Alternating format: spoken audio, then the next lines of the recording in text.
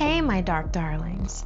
These days, we have many ways to stay in touch with family, even when we can't visit them in person, like family movie watch parties or video conferencing a weekly dinner together. Being able to instantly check in with family is great, but sometimes I want to bond in other meaningful ways. Thanks to Storyworth, I'm connecting with loved ones everywhere and learning family history I never knew about.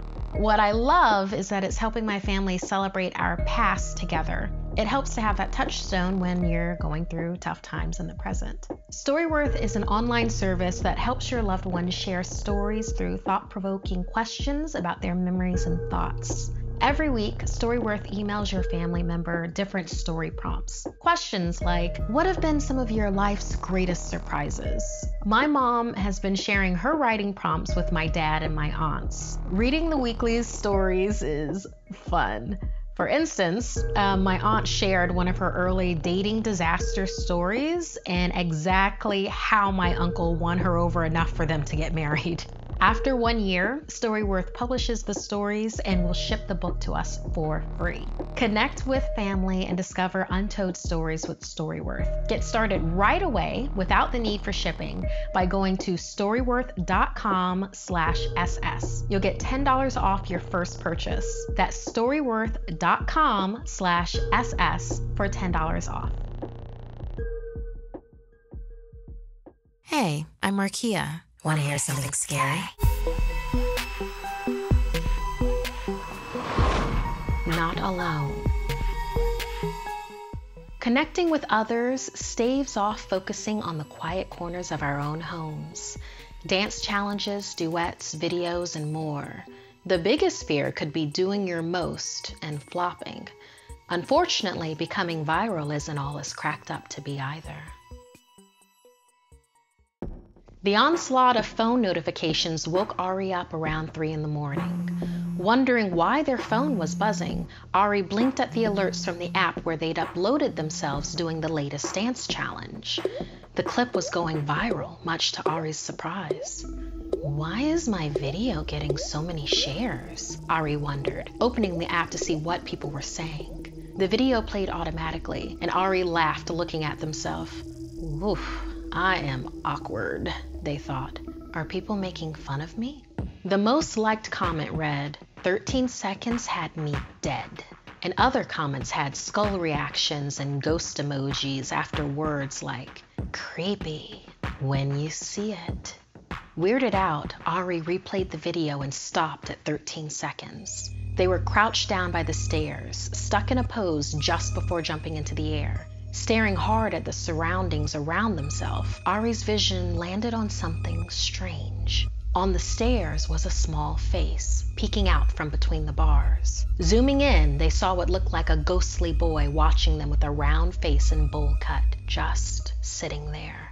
When the video resumed, Ari jumped and the boy's face on the staircase was gone. Ari was home alone. Immediately, Ari put the phone on the bedside table and turned on the bedroom lights. Opening the door, they flipped the hall lights on too. The stairs creaked.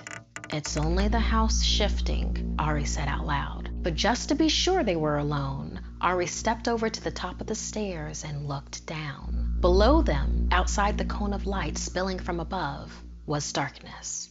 Out of that dark, the boy appeared, crab crawling up the stairs towards Ari. With a scream, Ari ran back to their room. Ari got back in bed and hid under the blanket. They took a deep breath, questioning what they saw. There was a succession of knocks on the door. A gasp caught in Ari's throat and their phone buzzed twice. Reaching out to grab it, they saw a small hand swipe it with a giggle. Ari hid under the blanket as the shadows of the small boy ran around the room. The light switch was then flicked off. Engulfed in darkness and without a phone, Ari was terrified. What did this ghost kid want? Paralyzed with fear, a chill took over the room. A weight shifted onto the mattress. The light of Ari's phone glowed through the blanket, getting closer and closer. Throwing the blanket away, Ari jumped off the bed and ran to the light switch. When the room was illuminated, something fell against their feet.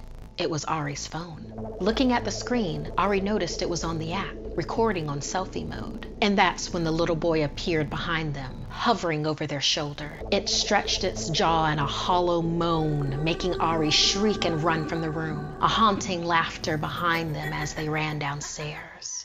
When Ari looked at their phone, the option to upload popped on the screen. Replaying the recorded scare over and over, Ari looked to the stairs and the ghost sat looking on. It dawned on Ari that the ghost boy must have seen that it was noticed in the first video, noticed for the first time and no longer alone. Is it that you want them to see you? Ari hesitantly asked the ghost boy. The ghost boy nodded, clapping, eager to go again. It was ready to scare more people into watching them both. Ari hit upload. We can do another one tomorrow. Heart still racing, Ari wondered just what the spirit might do if it wasn't appeased. What if the next video didn't get as much attention or go viral like the first? Will the ghost boy turn on them? Yes, more, the spirit ordered as its jaw unhinged in a big ghastly smile. The next night, there was a knock on Ari's door. Ari knocked back and the door opened. It was time for the next video. Something Scary stickers are here. We've just launched the first of our collectible Something Scary stickers. You can see the Teespring shelf on our channel or check them out on Teespring. We will be releasing new stickers every month so you can collect all of your favorite monsters. Want more Something Scary? You can hear more stories over on the Something Scary podcast. Available for free on Apple Podcasts or wherever you listen to your favorite shows. The links are in the description below. Thank you to all of our patrons. While we do run a limited amount of ads, the show would not be possible without your support. If you want to keep these videos coming, please visit patreon.com slash snarled. If you'd like to submit a story, send me an email at somethingscary at snarled.com. Like and share this video if it gave you the chills. And don't forget to subscribe to Snarled and turn on the bell for notifications. And if you dare, follow me on social media. Until next time, my dark darlings, sweet dreams.